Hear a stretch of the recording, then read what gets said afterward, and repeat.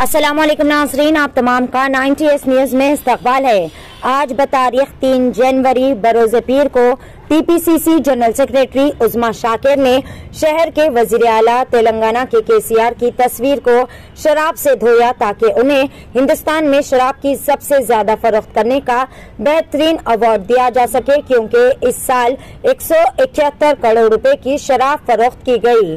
पेश है 90 S news के लिए यह खसूसी रिपोर्ट। मजीद ताज़ा तरीन खबरों से जुड़े रहने के लिए चैनल को ज़रूर सब्सक्राइब कर ले। हमारे सीएम केसीआर जी को best award of the year दिया जाता है। Best award of the year KCR मुद्दू।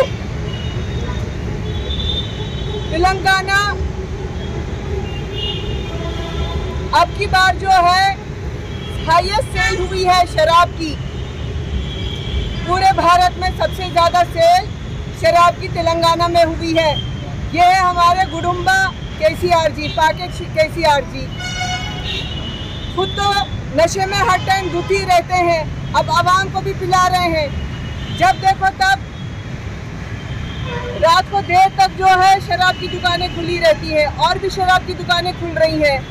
पहले तो लोग खरीद के अपनी जेबें खाली कर रहे, उसके बाद अपना लिवर, अपनी किडनीज, अपना हार्ट खराब कर रहे। फिर मिलाने के बाद पुलिस वाले पकड़ रहे ड्रंक एंड ड्राइव में।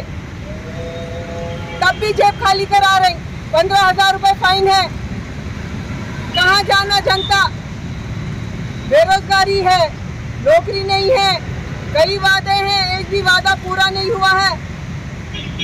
जहाँ से देखो, वहाँ से जेबें खाली करा रहे हैं केसीआर। तो इसलिए आज कांग्रेस पार्टी की तरफ़ से बेस्ट मुद्दू अवार्ड दिया गया है केसीआर जी को। भारत रत्न से, बाकी अवार्डों से, ये best award of the year है केसीआर जी को हमारी तरफ़ से। केसीआर केसीआर केसीआर केसीआर केसीआर।